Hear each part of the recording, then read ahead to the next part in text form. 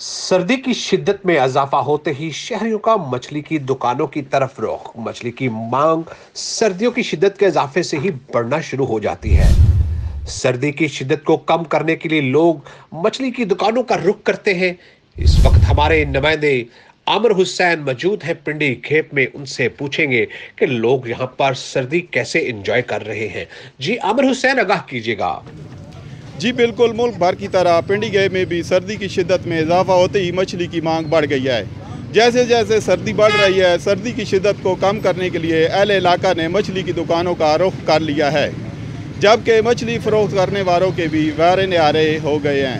ویسے تو سردیوں میں کئی طرح کی غذائیں کھائی جاتی ہیں، لیکن سردی کی شدت کو کم کرنے کے لیے مچھلی کو بہترین غذا سمجھا جاتا ہے، جس کی وجہ سے زیادہ تر لوگ سردی میں مچھلی کو ہی کھانا پسند کرتے ہیں۔ اگر میرا کیمرہ مین اس وقت دکھا سکے تو میں اس وقت موجود ہوں ایک مچھلی کی دکان پر، جہاں پر کافی تعداد میں لوگ مچھلی خرید رہے ہیں اور سردی کو انجوائے کر رہے ہیں۔ جی۔